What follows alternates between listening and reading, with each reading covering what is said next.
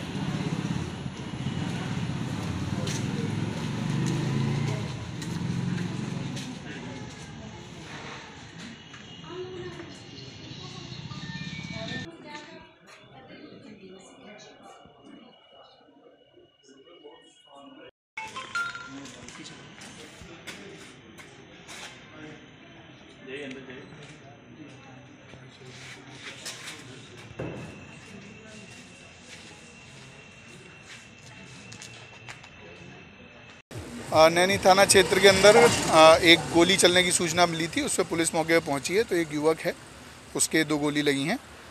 बाकी इसकी जानकारी की जा रही है, सभी एंगलों को जाना जा रहा है, घर के अंदर चूँकि लगी है तो सभी तरह से घर के अंदर के लोगों से और सभी लोगों से पूछताछ चल रही है। जैसा भी प्रकरण सामने आता है, आप लोगों को जानकारी दी जाएगी।